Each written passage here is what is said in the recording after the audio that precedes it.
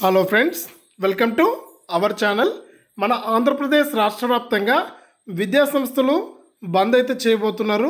అలాగే సెలవులు కూడా ప్రకటించారనమాట ఎందుకు సెలవులు ప్రకటించారు? ఎందుకు విద్యాసంస్థలు అయితే బంద్ చేస్తున్నారు? అనే పూర్తి సమాచారాన్ని ఈ వీడియో ద్వారా తెలియజేస్తాను. వీడియోను చివరి వరకు చూడండి. చూసే ప్రతి ఒక్కరు కూడా లైక్ చేయండి.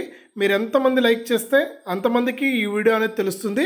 అలాగే ఇంకా మీరు మన ఛానల్ను సబ్స్క్రైబ్ అనేది చేసుకోకుండా ఉంటే ఈ వీడియో కింద రెడ్ కలర్లో ఉన్న సబ్స్క్రైబ్ అనే బటన్ పైన నొక్కి సబ్స్క్రైబ్ చేసుకోండి.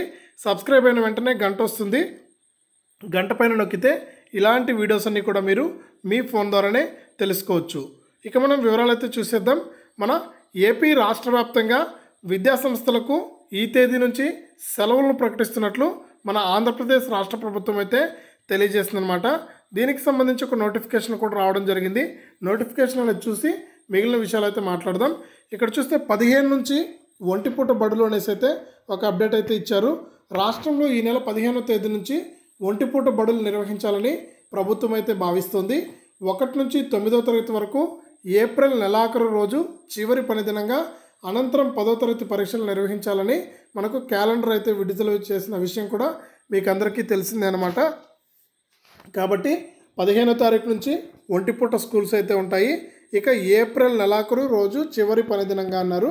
అంటే ఏప్రిల్ ముప్పై తేదీ మనకు లాస్ట్ పనిదినంగా చూ చూసుకుని మనకు సెలవులు అయితే ఉంటాయన్నమాట.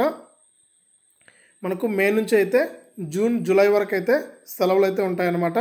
ఈ విధంగా మన ఆంధ్రప్రదేశ్ ప్రభుత్వం అయితే విద్యాసంస్థలన్నీ కూడా బంద్ చేస్తుందన్నమాట. ఈ నెల పదిహేనో తారీఖు నుంచి హాఫ్ డే స్కూల్ మాత్రమే ఉంటుంది.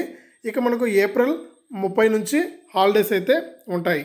ఇది తాజా అప్డేట్. వీడియోను లైక్ చేయండి షేర్ చేయండి. మన ఛానల్ను సబ్స్క్రైబ్ చేసుకుని ఫాలో అవ్వండి.